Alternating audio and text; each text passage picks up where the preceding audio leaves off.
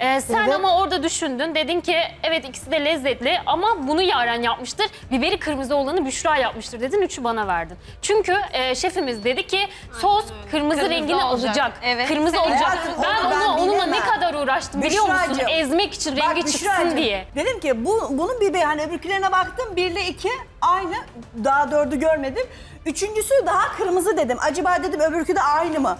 O mantığı yürüttüm zaten. Aslında olması gerekendi. Filiz Hanımcığım sen hani öyle diyorsun ama siz de bize yapıyorsunuz. Ben bulduğumda o kadar tepki veriyorsun ki yani siz kendinizi görmüyorsunuz. Şimdi biz size yüklenince siz bizden daha görüyorum, fazlasını görüyorum. yüklediniz. Her Allah şeyi aşkına uzatma. Bugün sen de gelini bulsaydın sen de savunacaktın Aynısını tabağını. yapacaktım. Uzatmaya gerek yok. Bunu beş herkes yapıyor. Sen de yapıyorsun. Hiç kusura bakma. Artık şu çeyreği alan alan alsın yani. Kim kazanırsa çeyreği bir bakalım. Gelinlerimizi ayağa alalım lütfen.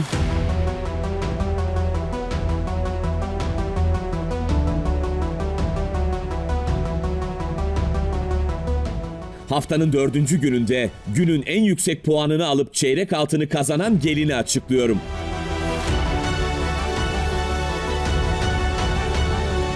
Çeyrek altını kazanan gelin... Günün en yüksek puanını alıp çeyrek altını kazanan gelini açıklıyorum.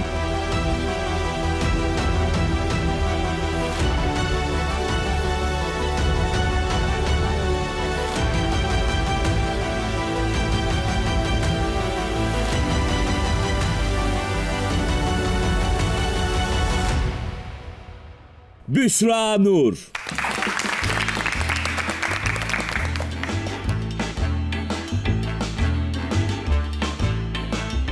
Büşra Nur bugün çeyreği aldı evet ama bir hafta boyunca aldığı puanları bu etkilemeyecek çok fazla. Daha önümüzde cuma var yine de gidecek. Yarın da bilezikleri alacağız inşallah.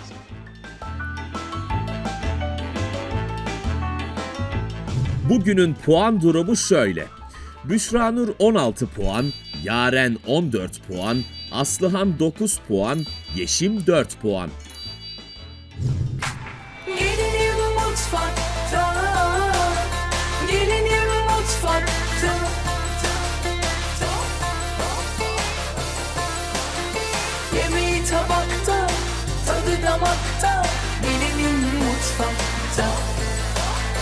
Gelinim mutfakta